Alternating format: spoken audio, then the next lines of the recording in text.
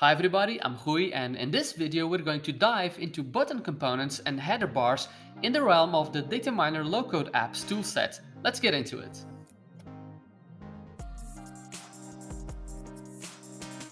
Low-code apps let you build applications tailored to specific audiences with little to no coding experience while leveraging your own data lake. They are integrated with powerful DataMiner automation capabilities and are accessible from anywhere. We will start off by looking at how to use button components and the things you can do with them. This is just a DataMiner app I created beforehand just for testing and demo purposes. This page shows some information extracted from your digital twin, but I will create a new empty page and call it buttons so we can go ahead and play around with them. Let's open the component bar on the left and drag a button into the canvas. In fact, let's create a few more to cover additional examples. If we navigate to the component settings under the General section, you will find an empty on-click action. This allows you to choose which action will take place when you click that button. There's a bunch of them. Let's start with the simpler ones. If you have multiple pages inside your app, you can use the button to immediately navigate to a different page. I have an overview page, so let's set that one. Notice you can chain additional actions to run right after the current action completes. This is useful if you want to do things like creating a DOM instance and then updating a table to make sure it displays the newly created instance. Anyways, if I leave the edit mode and click the button, I indeed end up going back to the overview page. Let's try another.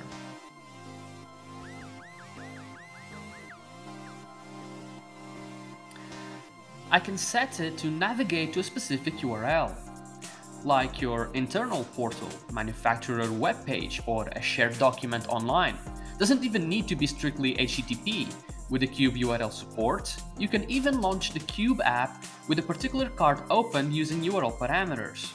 But for now, I'll just launch Cube at the home of the Ziine demo system. If I leave the edit mode and click the button, you can see it will launch the Cube app and log into the Ziine demo system. You can open and close panels too, I already created one that says hello in the overview page. So let's go on over to the button settings and add an action that opens that panel. In a pop-up, 30% width sounds good. When I leave edit mode and click the button, we can see the panel opens as intended. You can close panels this exact same way too. Let's continue.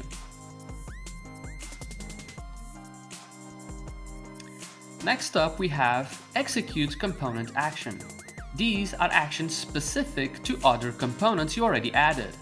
So I'll quickly add a pie chart component to exemplify.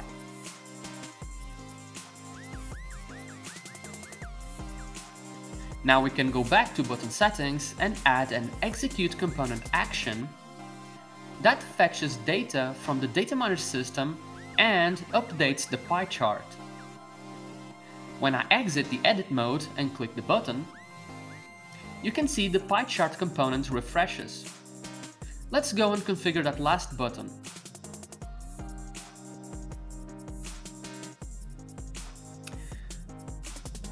The low-code apps toolset integration with DataMiner Automation Engine goes beyond simply launching a script, but I will cover that in depth in another video. For now, we'll just launch a script by pressing the button. I created this script beforehand. It compiles a PDF alarm report using an existing dashboard and uploads it to a network share. When I exit edit mode and click the button and wait for the script to complete, we'll be able to find the report at the designated network share. Finally, I'd like to quickly point out that you can add header bars containing buttons to each of your pages. To do that, just toggle the header bar on while editing your page and it will pop up from the top. You'll notice two plus buttons on the left and on the right. This allows you to add buttons on each side. You can attach actions to these buttons by expanding the events menu under the header bar settings and configure an action the exact same way we did before. And that's all there is for button components and header bars. Pretty simple and easy to use. For more information about this or anything and everything ICT, media and broadband, visit our Open Dojo community and register for free. Meanwhile, I hope you enjoyed this video and I will see you next time.